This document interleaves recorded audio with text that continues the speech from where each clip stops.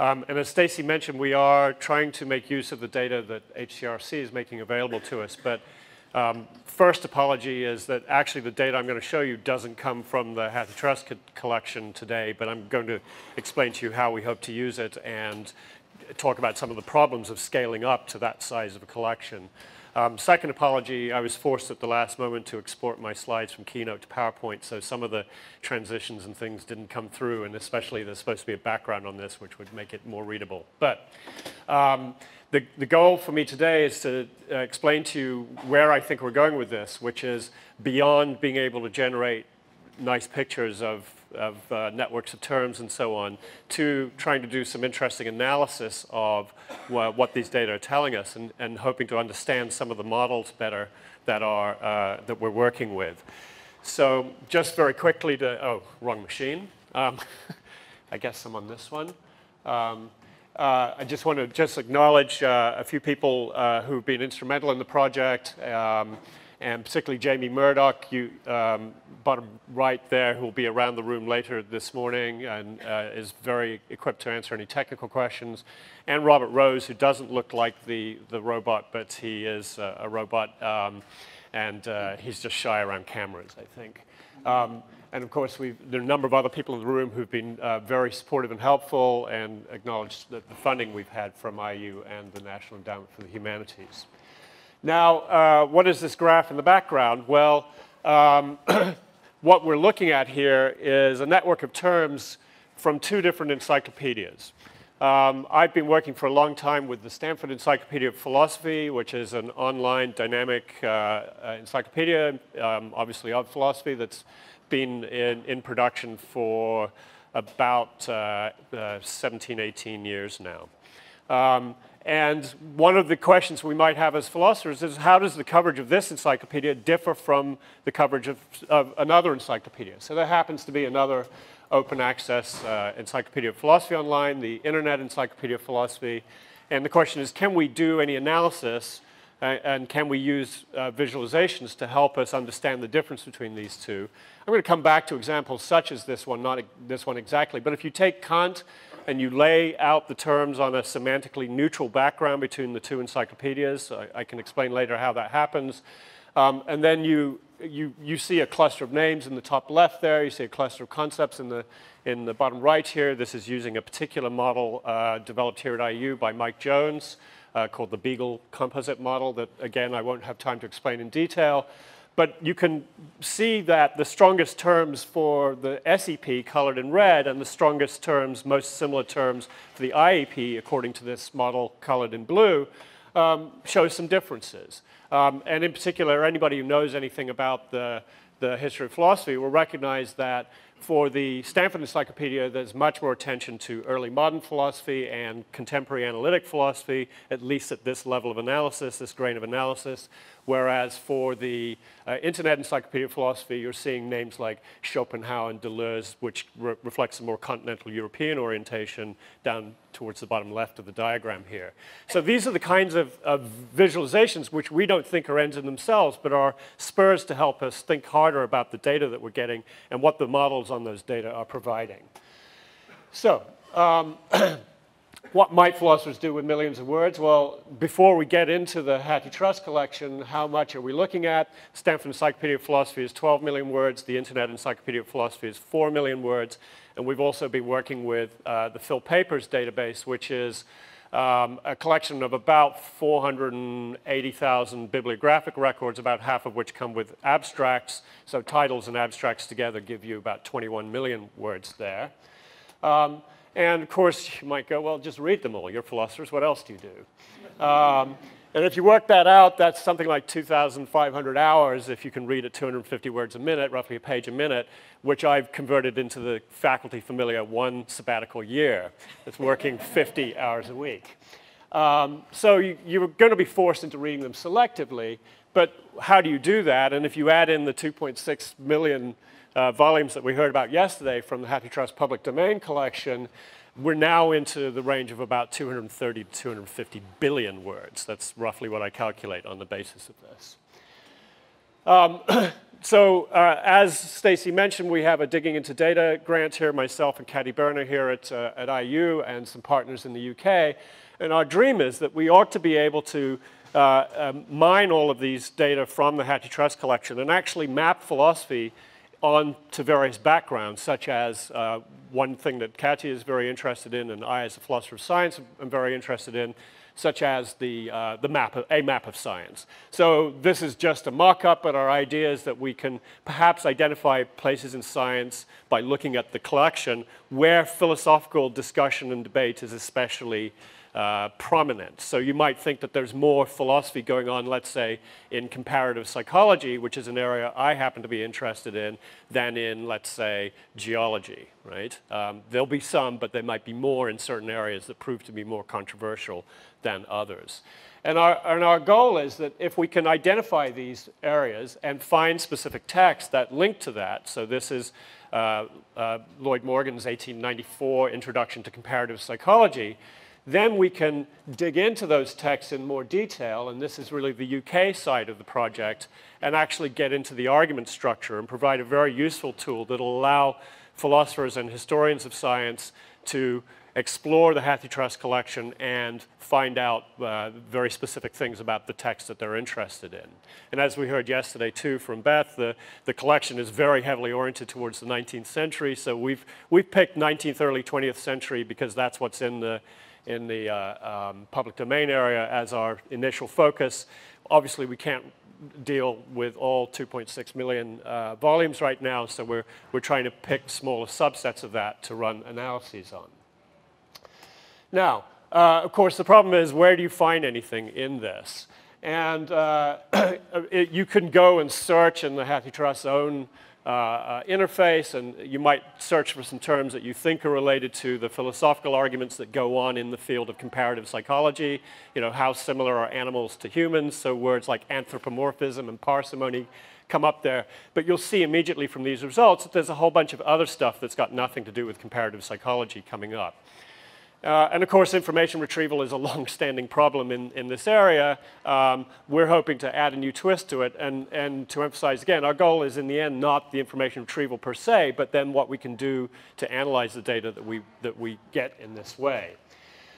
Um, we do have some other sources. So I mentioned the Internet Encyclopedia of Philosophy, the Stanford Encyclopedia of Philosophy, and our own um, uh, AmPhil papers. So if you search for these two terms in the Internet Encyclopedia of Philosophy, they're using Google custom search on their site, you find just two uh, returns, animal minds and moral development, which puts us in a rather different space than what we got from, uh, from HathiTrust. Um, if we search in the Stanford Encyclopedia of Philosophy, we find animal cognition and animal consciousness come up top, and then we get down into some other things. Uh, William of Ockham at the bottom, very obvious for parsimony. And if we look at the uh, Phil papers, again, we find um, a paper about comparative psychology at the top, one about anthropomorphism in science more generally in the second, and actually a piece by me um, on, an anthropomorphism third there, which is also in the uh, animal cognition domain.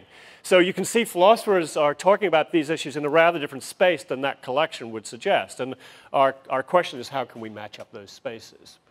So we've been developing tools here. Um, I, I, have this fairly long running now uh, InPhO project, which stands for Indiana Philosophy Ontology.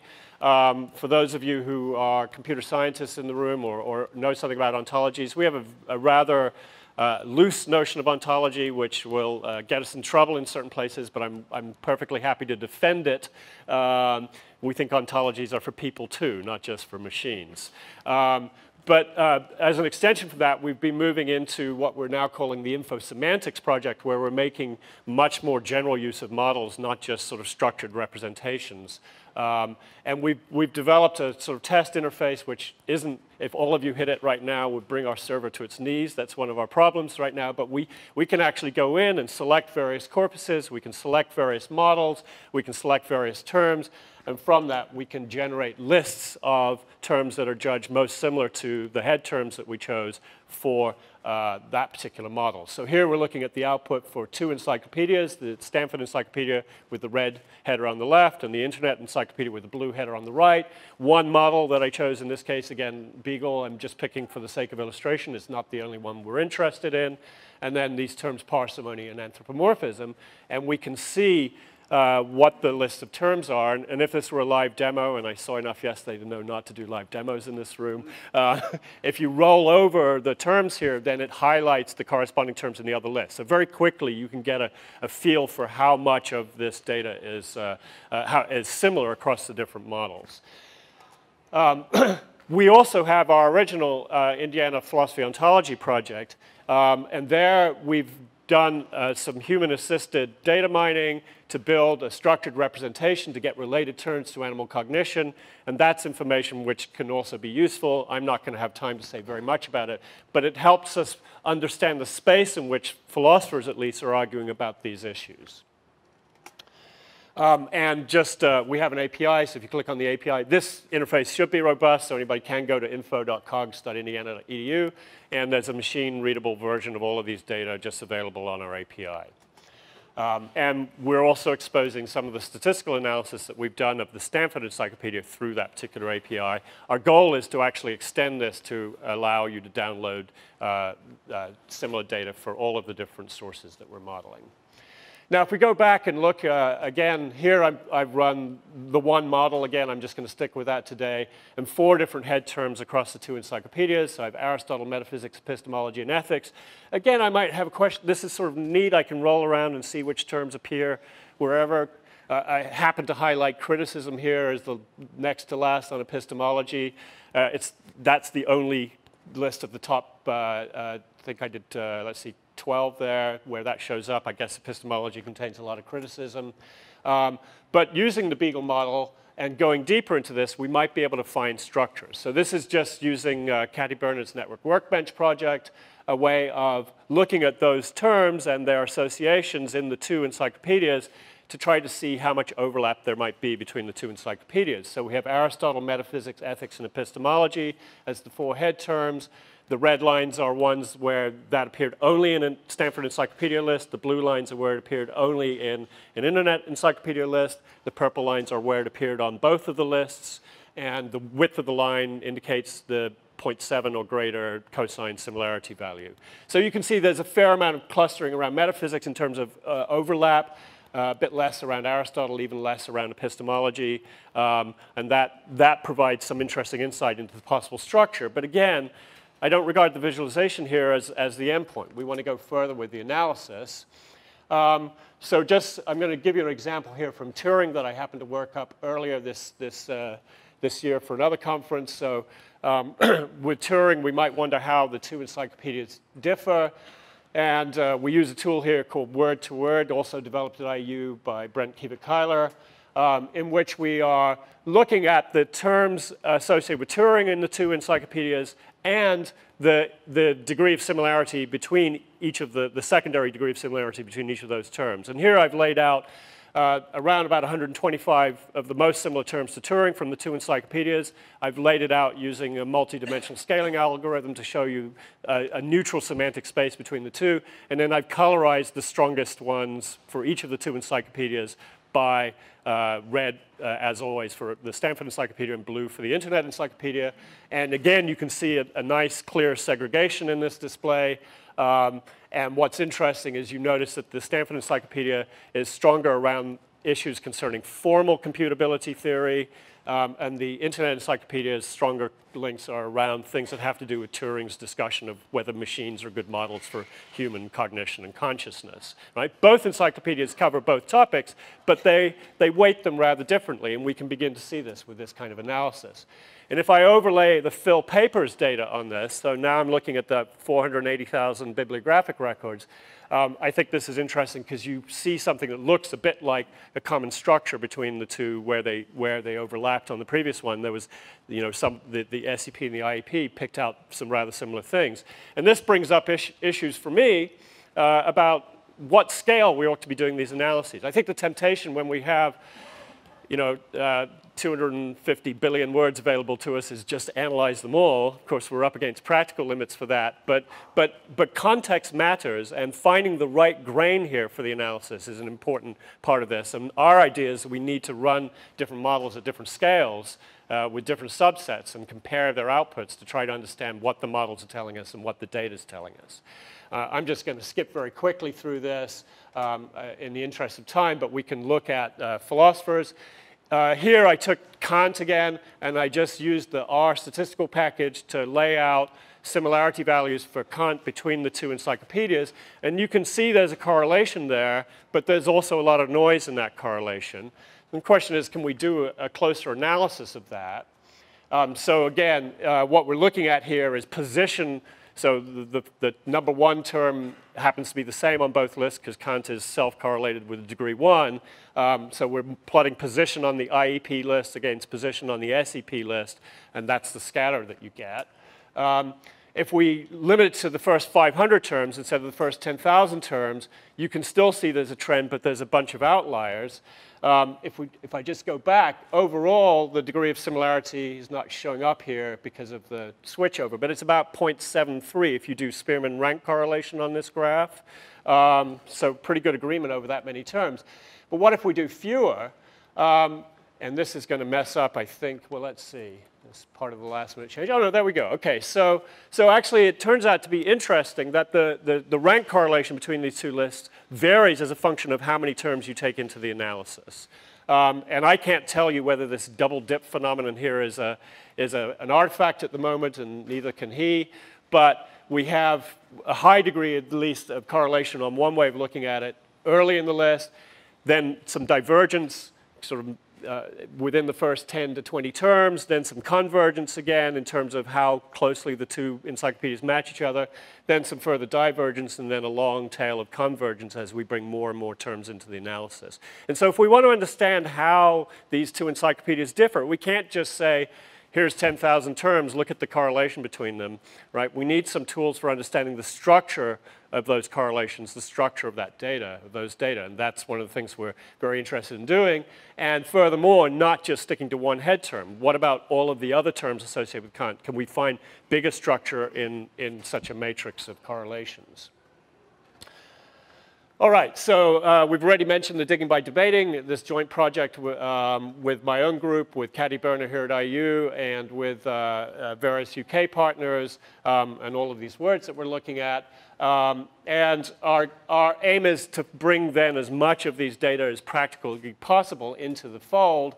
Um, and that is going to raise enormous scaling challenges. Um, as I mentioned, Context sensitivity is going to be important. More data is not always better, right? So we need to actually run lots of, lots of models here on lots of subsets of the data to try to figure out where we get the most uh, um, bang for our buck, so to speak. Um, um, and we need ways of, of, comparing these models at multiple scales. And that turns out to be something that has the st statisticians here on campus scratching their heads as, as much as us. Um, and we're trying to understand how to deal with this. All right. Um, we've also realized that in order to do this well, in order to run all these experiments with different models on, on different data sets, um, we are going to need a very robust architecture, not just for running the experiments, but for storing the output of those experiments and for being able to replicate those experiments. So this is just a sketch right now um, uh, of an architecture for that in which we've modularized various aspects of the, of the corpus preparation, uh, the, the model running, um, and then the analysis afterwards. Um, and we are uh, trying to build this in a way that will make it usable for other projects, scalable, possibly runnable on a virtual machine through HTRC. These are all uh, directions in which we're actively working with Beth and others here to, to try to do that. All right, so uh, just uh, that came out terribly because of the export, but we're also working, uh, we have a second grant um, from NEH and uh, DFG in Germany to link our data to the linked open data cloud, um, and that has all kinds of interesting problems with it. But uh, I think there are numerous research avenues. Um, uh, the model comparison I've been talking about, how we manage to switch context and how we can use our understanding of what the models are telling us to help uh, get at things that people want to get out of these data. Um, what it is to have domain expertise. So some, some people think about Kant and Hegel and other people think about Kant and Hume. Um, and how do we understand that different sources are going to emphasize different things accordingly. Um, as I've mentioned, corpus comparisons, uh, we can look at the state of the profession, and we can do that historically all right, with, with all of these HathiTrust volumes, we can look at how certain kinds of debates changed over time. So with that, I think I've left myself about five to 10 minutes for questions, so I'm happy to take them. Thank you.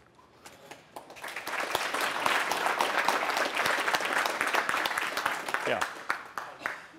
So with the encyclopedias of philosophy, you have fairly small corpuses that you're comparing. Um, and I imagine that when you're doing this much larger corpus, uh, you can get much more sophisticated with what you do. But I couldn't understand from your presentation you know, what you're trying to do beyond what you've already done with those encyclopedias of philosophy. Mm -hmm. So uh, what we're trying to do beyond uh, with the encyclopedias is actually um, be able to get in and use the kinds of statistical analyses that we think we can provide to not just locate discussions of particular topics, so topic modeling could do that, but actually to get in and find places where scientists and philosophers are engaged in common debates. So we want to get more into the argumentative structure of the text. We want to use, I tended to focus, and this has been my bias, on content terms in philosophy, but we've also been looking at recently uh, argumentative structure terms, so you know, consequently, therefore, all of these words that, that that people giving arguments use, and can we use the relations between those to help us isolate particular passages, you know, pages from books, which are then ripe for the kind of detailed argumentative analysis that philosophers and historians of science care about, right? Um, so I think this is an essential part of our project is we, we, we don't just want sort of the, the, the high level abstract gloss on term similarity at, the, at a corpus level or even a book level, we want to use that as a way to get into the real structure of the text in a way that scholars of these texts uh, want to make use of them. Good. Oh, yeah. Um, how are you dealing with uh, multiple languages in the corpus analysis for HathiTrust? Are you just uh, going to use English language terms? So the question is how we're going to deal with multiple languages, and the answer is I have uh, lots of interest in doing that, but right now um, we are uh, treating whatever corpus we have simply as uh, a single language, whether it contains multiple language terms or not, right? So, um, so what's interesting, and I, I, I, could show you this, is if you, if you go into our um, the list tool that lets us see related terms, and you type German words such as Entwicklung into, um, into that, then the SEP will give you a whole bunch of other German terms that are associated with, associated with that. Why? Because the German discussion of development turns out to be, you know, organismic development turns out to be very important for philosophical analysis of that concept. So there's lots of citations and things to, to German sources that give us kind of a, a, little toehold into the German language there. If, as you broaden out, right, you would, you would bring more turns, but they might still be isolated islands. And that's a really, now we've got a really interesting question is can we map perhaps the structure of what goes on in the German or French or whatever discussion of, let's say, comparative psychology to the structure of what goes on in the English language discussion of that. And there we actually, um, we, we think, but you know, we don't have the funds or the resources to do this at the moment, but we think there might be something rather similar possible to what we're doing more generally to compare structures within a language, to now compare structures across language. And it also hooks up to our goals with the linked open data uh, project, which is to try to map points in one database to points in another database, right? That's essentially what we're doing there. So you could think about doing that between uh, models of different portions of the text and so on. But no, these are really important questions, and I would love to get further with it, and I'm happy to talk about, talk to people who have ideas about how to pursue that. So.